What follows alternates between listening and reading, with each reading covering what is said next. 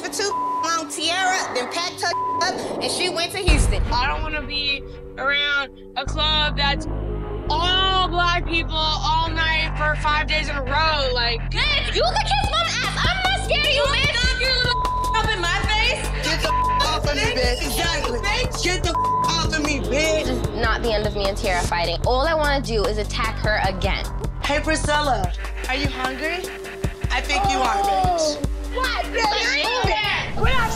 I slip you and Hit me. If you would hit me first and knocked your ass And out. I want you to cross this mother floor right now. You can ignore me all day, but I'm loud as so I know you can hear me. I'm You get back to Chicago, you're gonna get your face chopped off. Really? Yeah. I'm gonna give you five seconds to defend yourself or take this ass whip. Natasha, you have no idea who your contact. I know you back.